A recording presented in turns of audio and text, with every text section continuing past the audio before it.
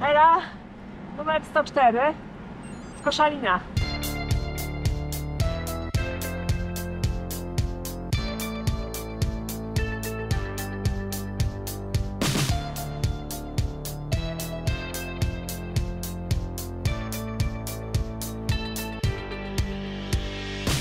Ela?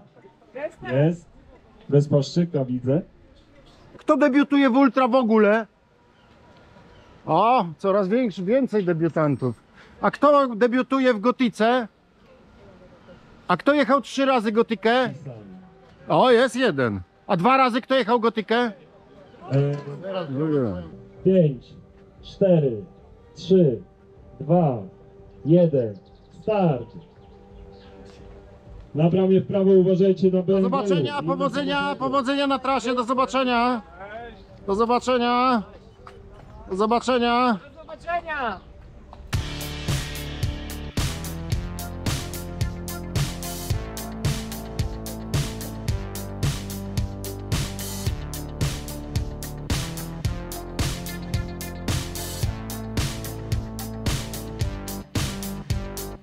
Z Koszalina, no właśnie, czyli to jest wyścig po twoich terenach. Tak, aczkolwiek są też ścieżki nieznane.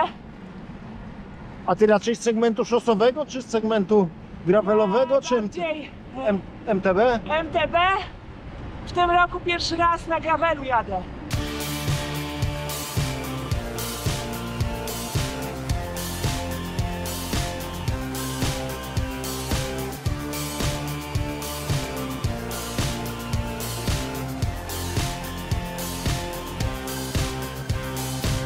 Czyli co, coś takiego wymyślili, czego nie znasz?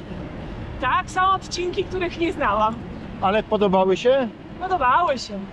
No właśnie, jesteśmy na 170, chyba 180 km. Jak tą trasę oceniasz do tej pory?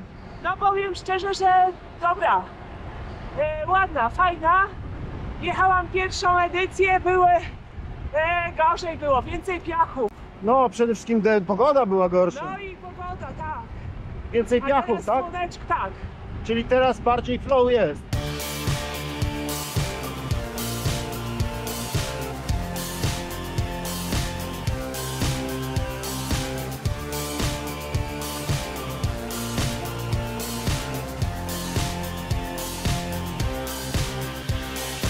Powiem, że ty też Wanogę jechałaś chyba, tak? Tak, A jak byś to porównała do Wanogi? chyba podobnie. Podobnie. No tak jest, no szczególnie w tym roku. Ta trasa jest też wymagająca, ale też taka, dla każdego się znajdzie właściwie akcenty, Aha. Pachulszczyzny. Są pachulszczyzny? też są akcenty, ale ogólnie e, bardziej tak, do Wanogi.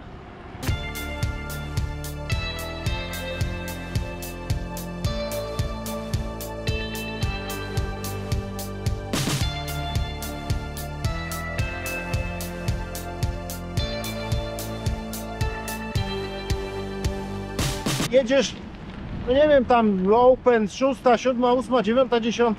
Skąd masz tyle siły, powiedz? A nie wiem właśnie. Zawsze obiecuję, że następnym razem się będzie przygotuję. Teraz niby się troszkę przygotowywałam, to sobie wymyśliłam, że sprawdzę jak to jest na gravelu. To może ten gravel tak cię przyspieszył? Ale może coś w tym jednak jest. No, nie jesteśmy jeszcze na mecie, co prawda, nawet nie jesteśmy w połowie dystansu.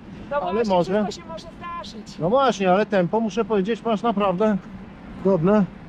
O, to muszę przemyśleć, czy nie za mocne. No nie, to tak mówię tylko, no.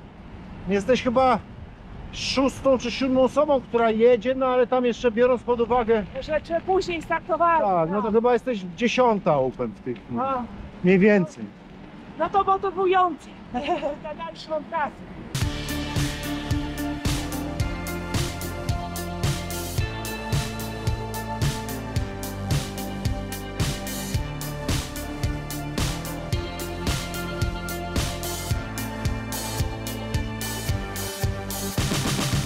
Trenujesz jakoś na co dzień? Ćwiczysz? No, w tym roku troszeczkę pos- postanowiłam, żeby, bo to jednak dla zdrowia lepiej się trochę coś zrobić z sobą i dopiero w tym roku trochę zaczęłam poważnie do tego podchodzić. Aha, co masz na myśli poważniej mówiąc? Że już trochę tak, jakieś regularne jeżdżenie, Ale trening taki rozpisany, tam jakieś... coś tam, o coś tak. Aha, okej. Przemyślany sposób, no. Ale to z trenerem jakimś? Masz trenera, czy po prostu gdzieś tam w internecie? Jak to jest?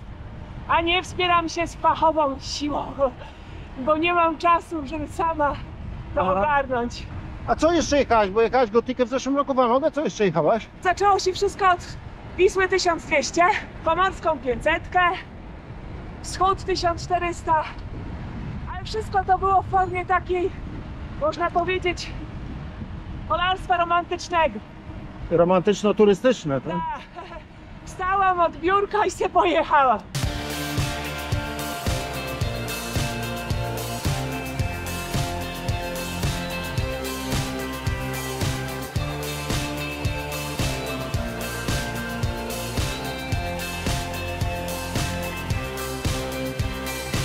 Jaka motywacja za tym stoi? Dlaczego ty to robisz?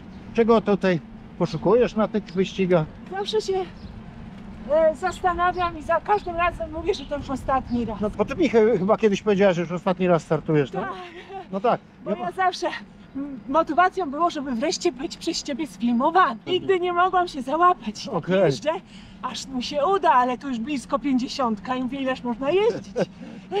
Super, no to teraz nie będziesz musiała już jeździć, skoro porozmawiamy. No nie wiem, ta atmosfera wciąga. Atmosfera, tak? Tak, takie emocje. No i przekraczanie granicy swojej gdzieś. Bardziej ściganie się ze sobą niż z innymi. Ale gdzieś jesteś, masz takie poczucie, że jesteś gdzieś blisko tej granicy? Jak, jak daleko jesteś do tej granicy? E, no jest postęp jakiś widzę. postęp jest, ale jednak pewne rzeczy, jak to się śmieje, już nie w tym wcieleniu. Jesteś buddystką? Nie, Okej, tak w cudzysłowie. okej. Pewnych rzeczy już się nie przeskoczy.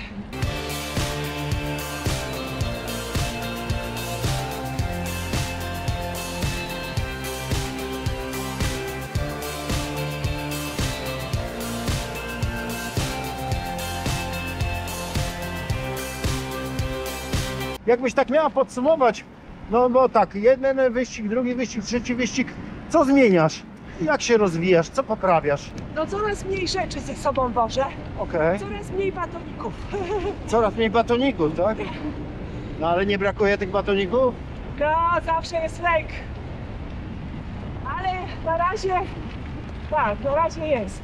Ale czyli co, nie doszłaś jeszcze do takiego setupu, żeby móc powiedzieć, okej, to już tak będę jeździć, jeszcze cały czas coś tam zmieniasz? Cały czas tak. Aha. No dobra, ale część tych rzeczy jednak pełni rolę takich na wszelki wypadek rzeczy zabieranych. No bo trudno skuwacza nie wozić, mimo że się go nie używa. Tak? Pewne rzeczy no, trzeba wziąć, bo jak się weźmie, to jest szansa, że się nie przyda.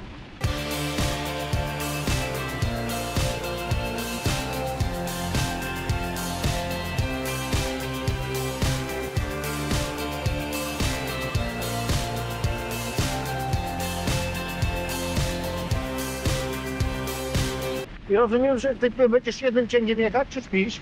Nie, całym ciągiem. Masz już doświadczenie w takiej jeździe Tak, ciągiem? tak. Aha. To czekaj, na którą ty się szykujesz? To ty na rano się szykujesz w ogóle. Nawet nie na popołudniu chyba. Zobaczymy jak pójdzie. Później trasa. Są tam takie odcinki trudniejsze, tam nie przyspieszę. Trochę spadnie ta średnia, tak? No właśnie. No jest szansa, że w nocy będzie mniejszy wiatr. Wiatr się jest, tylko wy to raz go macie pewnie w plecy, raz z boku, bo wy Tak, ciągle tak. kręcicie tutaj. Właśnie.